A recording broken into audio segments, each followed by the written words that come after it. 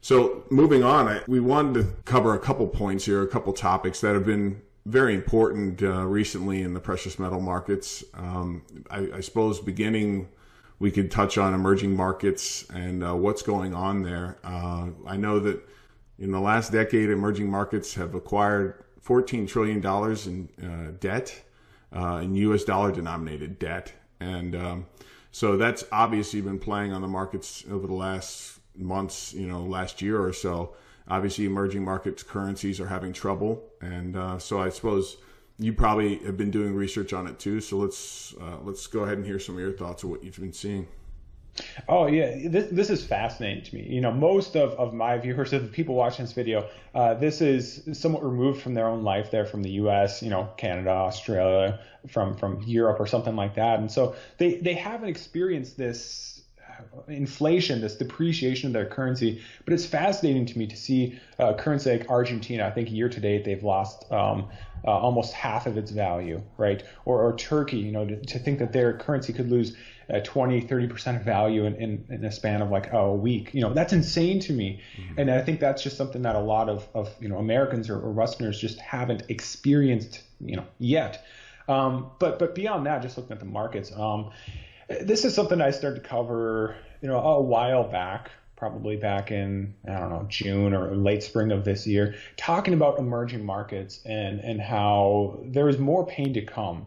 Um, essentially, each of these individual countries, whether we're talking about Argentina, Brazil, certainly Turkey, uh, if you want to throw China in the mix there as an emerging market, sure.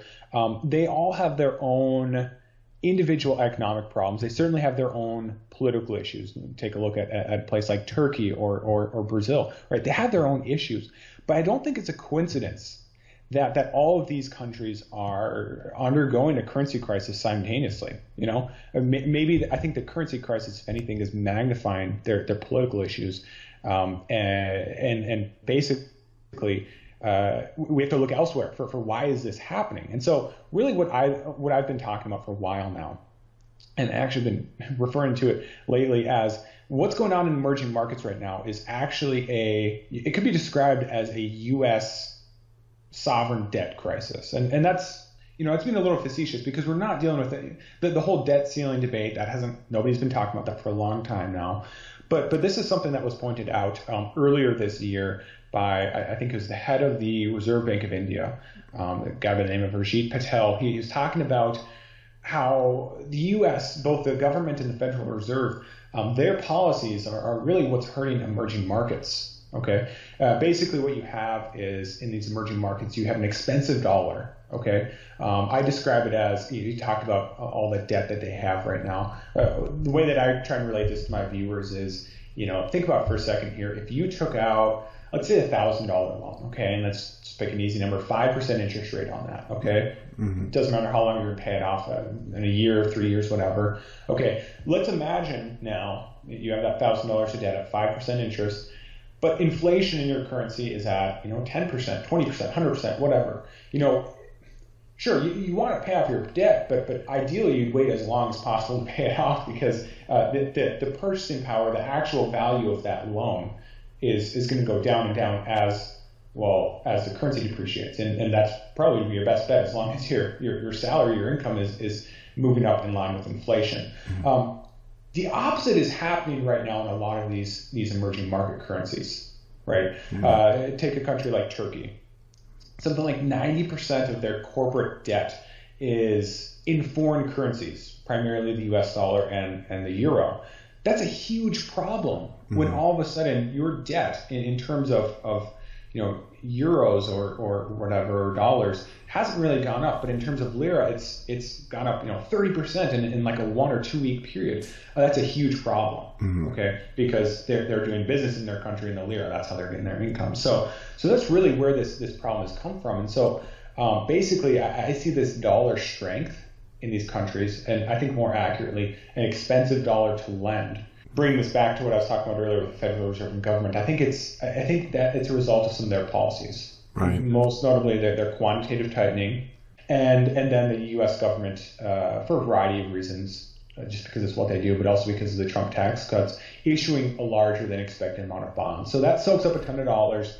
It, it, creates a, a, I guess, a dollar shortage, not in the sense that they can't get dollars, but but they're more expensive, mm-hmm. and and that's really what's been hurting these these countries. And so, you know, we have to ask ourselves, you know, when, when is this emerging market crisis going to end? And, and sure, they all have their own political and economic issues, but but as as a whole, you know, I don't see this ending anytime soon. Right. Not not until the Fed uh, goes goes back into to QE mode again, or at least until they stop quantitative tightening.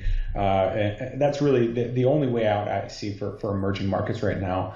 Um, and inevitably, you know, this will continue to spread from emerging market. We're already seeing this morning it's spreading to, to Indonesia, to India. I mean, it, it already has, but but the headlines are out there now. Eventually, it's going to, you know, the next one on the list is going to be, you know, Australia or or the European Union, and eventually the United States. And so, you know, right. it's only a matter of time. It's it's it's been on the horizon for a long time. But uh, in the meantime, I won't be surprised if we continue to see the uh, the dollar strengthen. You know, because because of uh, I guess flight away from those foreign currencies and, and their markets.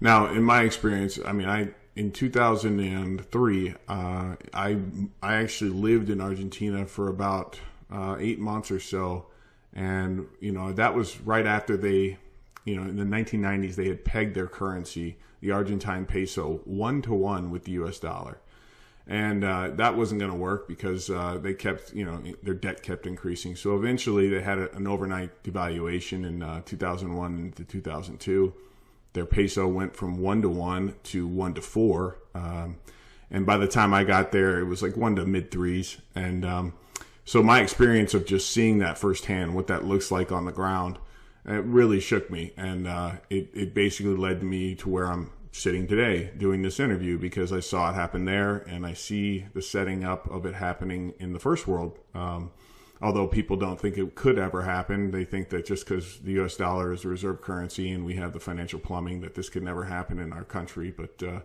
um, I I think it's it's it's very probable in our lifetime that we may end up seeing some type of crisis with currencies. So, hence my being in this interview with you.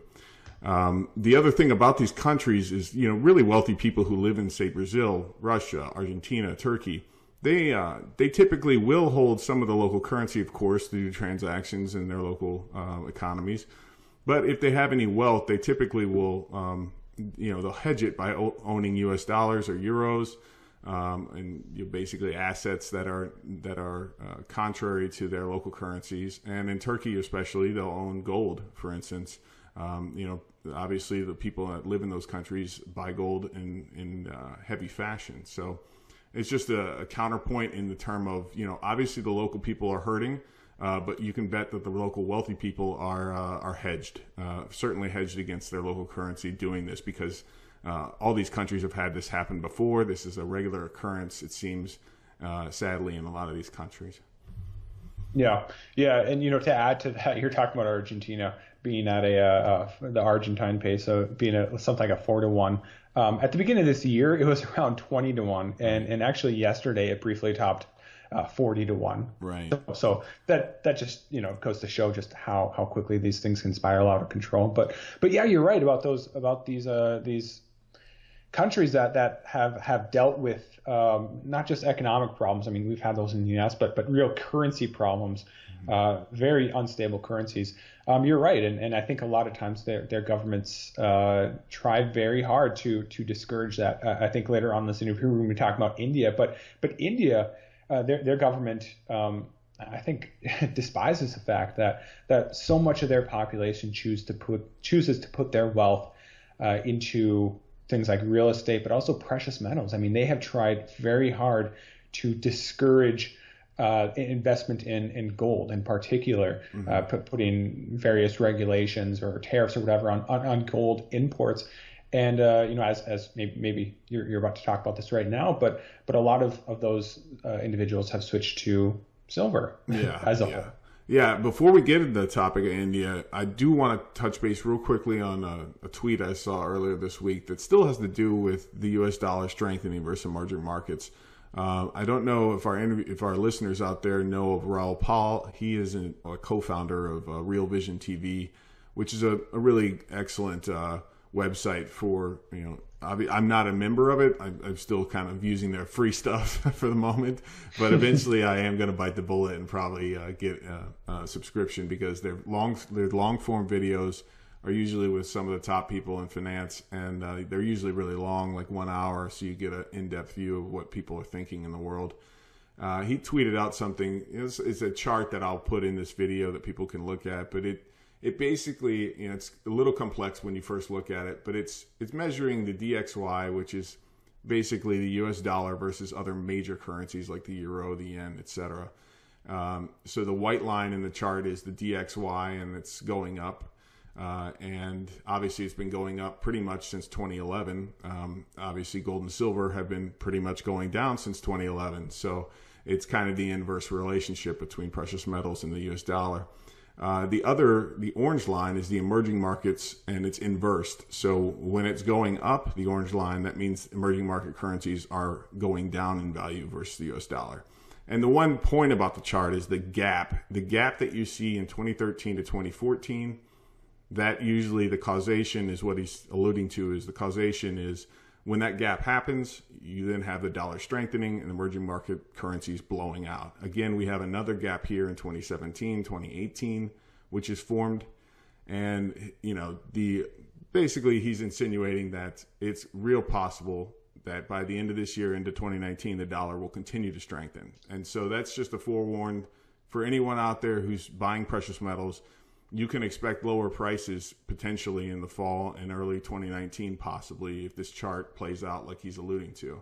So, all I'm telling you is that $1,200 gold, 1440 silver may not be the lows. Maybe keep some powder dry if you're out there, you know, positioning in precious metals. Yeah, yeah, you, you make a great point there. Uh, looking at this chart, I mean, it's.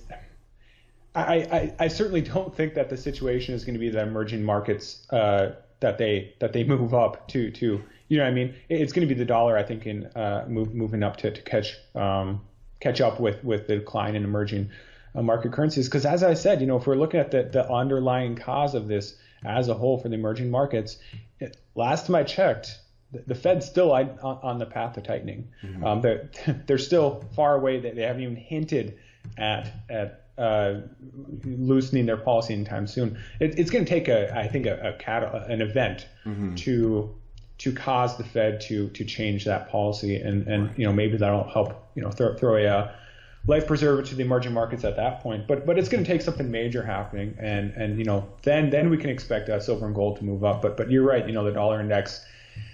Uh, yeah, it um I wonder sometimes if even it, it, should be stronger than what it is right now, just mm-hmm. because you know, as you said, the DXY index. It's uh, it's the euro, the yen, I think the pound. It's it's so outdated. I think I have the Swedish krona in there as well, but uh, mm-hmm. but I think it just doesn't really capture just how weak some of these emerging market currencies are. Mm-hmm. Um, so so yeah, you're right. You know, the, the next big catalyst I see is is uh well, the Fed, you know, reversing their policy in response to some sort of a crisis. Right. For yeah, for anyone looking for precious metals to revert, you, you, you like you said, you're probably looking at a black swan event, and then the Fed changing course, and then you know you'll start to see financial assets, um, you know, remarket to market, and probably precious metals will probably zoom based on what the Fed does.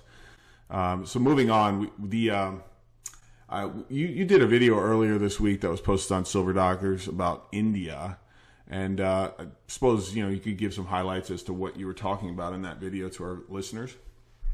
Yeah, so I mean, the basically the gist of it is is that you know most of the the West, the United States, Europe, whatever you want to consider the West these days, we have definitely cut back on, on our purchases of of silver as an investment. You look at the U.S. Mint figures for for 2018.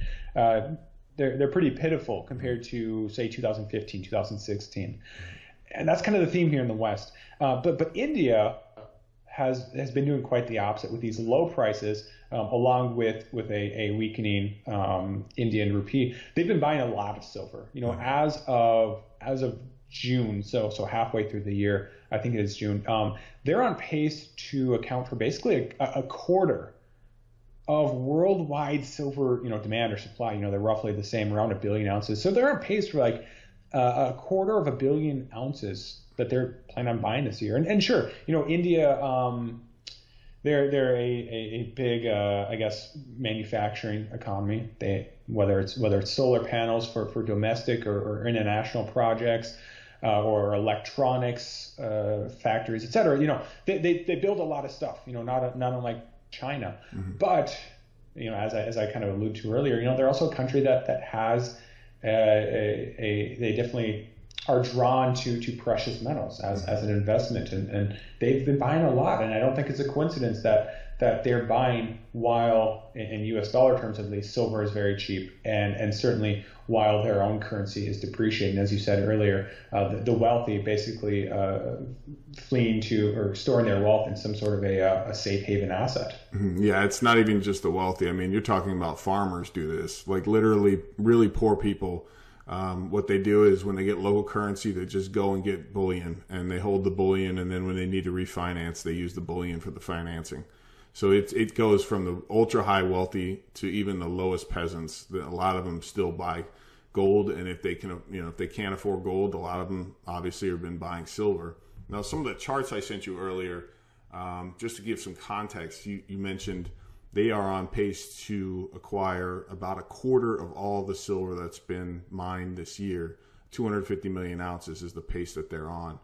One of the charts I sent you um, shows, you know, silver versus Indian rupees on a long-term basis ever since the fiat currency system has been in place. So basically 1970 to 2018. I'll put these in the video so you can see what we're discussing. But there's a strong correlation here when you look at the price uh, in the local currency, the Indian rupee of silver, versus their silver imports. What you see is um, people will negate from buying when the price starts to go up, uh, when it gets to peaks um, on the chart, and then when it goes down, uh, local local silver uh, local silver buyers will buy heavily. And right now, the rupee uh, versus silver he's at a, a pretty low point, starting to lower downward, and so that's why you see such heavy buying. Uh, a lot of these people they they're pretty similar to our, our own customers at SD Bullion, where they they use price dips as a way to increase their position or to dollar cost average down their overall price point that they got into the, the precious metals with. And so the one chart I sent you that I think is probably the most important because a lot of people you know, they talk about JP Morgan and their COMEX supply. And, you know, obviously since the spring of 2011, they went from having zero ounces in their COMEX warehouse that got rushed into being in existence up to now there's over 145 million ounces of silver. And that is a time span that's, uh, I don't know, seven years roughly. And then you look over at Indian silver imports this year. The data that I'm showing you is uh, it's through June of 2018 um, so if you just crunch down as far as you know the speed at which they've gotten to 3,839 tons this year through June, if you if you break out a calculator and do the math, essentially by this time we're in August, the end of August, uh, they should have more. They have imported more silver likely than J.P. Morgan has acquired in that COMEX vault over seven year time frame. So in a half year, India has imported more, and obviously you know, people who are listening, we all know that JP Morgan is literally right next to the price discovery mechanism in the COMEX. Obviously, we know that they have a lot of influence as to what the price of silver is going to be. All I'm saying is that the physical flow uh, is very, very strong to the east, especially this year um, in just India alone. And the amount that they're buying is blowing out the amount that JP Morgan has acquired over seven years in their transparent COMEX vault. So, yeah, yeah, and you know, I had uh, I had uh, Ted Butler actually on my channel yesterday. The, mm-hmm. the interview is just you know just prior to, to us doing this, and uh, you know, he's his take on it is that J.P. Morgan. I think he puts a number at like uh, 750 million ounces that they potentially could have, and and nobody knows for sure. Right. Uh, but it doesn't matter. Uh, like you said, you know, India, their imports dwarf that, right? Mm-hmm. Um, even just this year, if they're on pace for they're they're on pace for a third of that, and, and that's if J.P. Morgan actually has that much. And, and you're right. I mean, the flow of physical is to the east. What for silver certainly to India. For gold, you know, to China. I, I had um, it's uh Lewis from from his channel Snoggled. I had him on a while back, and, and I asked him, you know, how much how much gold does China really have? Because we have, you know, the numbers that people really talk about are the uh, reserves that are, are listed by the People's Bank of China, their, their central bank, and and you know they, they they rose there for a while. They haven't really risen for a while now, and it's it's a fair amount of gold that they have. But but you know as he kind of talked about is is that you know in reality, uh, China they, they produce quite a bit of gold. They mine quite a bit of gold. The most the most in the world uh, year on yeah. year ever since the early 2010s. Yeah, every year. Yeah, yeah. They, they mine a ton of gold. They mm-hmm. don't export it, and additionally, they import a ton of gold. So like, where's this all going? And, and he, I think he put the number at something like uh, 20,000 tons that they have between uh, the People's Bank of China, which is the most public one, but then also things like sovereign wealth funds, um, or or maybe the the ultra wealthy that that could very easily have that gold uh, uh, confiscated in, in, an economy, or in, in, in, state banks, of course, too. or state banks, right? Yeah, yeah. yeah. I mean, it's it's a huge amount of gold, uh, mm-hmm. twenty thousand tons. Mm-hmm. Um, so yeah, I mean, the, the, the, flow of metals is, is definitely to the east, and, and it's it, I, I think they're going to make make a lot of of um, otherwise bright investors look look very foolish for for you know throwing in the towel on silver uh, when when they you know the, those that are invested in physical are, are building their position uh, yeah. more than ever. Yeah, for the most part, you're talking about just the mainstream Western investor who simply gets told about GLD or SLV and gets shown a spot price here and there. They have no idea about what physical flows are happening. They they're not told that stuff typically on Bloomberg, and if they are, they're going to get told the official reserves. They're not going to get told about what's been happening since 2008 as far as underneath the uh, the spectrum of uh, you know mainstream finance. Yeah, absolutely. You know, and, and, and the question that you know we have to ask ourselves is like, how is this going to change things in the future? Like, how much is is India and, and China and, and the East as a whole, Russia as well? How much are they going to benefit from buying that silver and gold? I mean, in dollar terms today, it's not a ton. It's not worth a huge. You know, you you look at yearly silver uh, supply coming onto the market. You know, a billion ounces uh, multiply that by the by the current price, you're you know 15 billion, maybe 15 billion dollars, uh, and, and, India is importing a quarter of that. That's a pretty small amount, um, but it's it's going to help them out quite a bit in the future, considering uh, you know how much uh, I guess fiat is going to go down, and, and, more importantly, how much silver and gold will uh, go up in the future. Right, those precious metals. I mean, it's virtually impossible to destroy them, so they're going to be somewhere, obviously. So uh, you know, fiat currencies eventually go down to zero. That's just the history of them, and that's basically by design. They end up going to worthlessness. But precious metals will always be around. And like you said, India, you know, they're importing heavily in silver and obviously in gold. They they're probably pretty similar in terms of China. They probably have about twenty to twenty five thousand tons amongst their private citizenry. And like you alluded to earlier, the government is it's pathetic. Every time they try and uh, monetize the Indian population and have them lend their gold to the banks in return for some type of scheme that they always throw out. Nobody buys it and it always fails. It's happened ever since I've been in this industry. I've seen them try this like four times and it fails, you know, it fails every time. And the, the citizens, they just don't trust their banking system. They know that their banking system is broke. That's basically why they demonetized the thousand rupee note was to try and get more depositors to put their cash in their bankrupt banking system to make it look more, you know, more solvent than it probably is. Uh, so you know, India will continue to to try and go down that route. They're going to continue to go down the route of well, we're going to move to a cashless society. Well, great. Your citizens are still going to have precious metals, and you can try and outlaw that, but they're still going to have it. And I don't see that stopping. You can try and outlaw it all you want, but people underneath in the gray markets are going to continue to use precious metals no matter what the law says.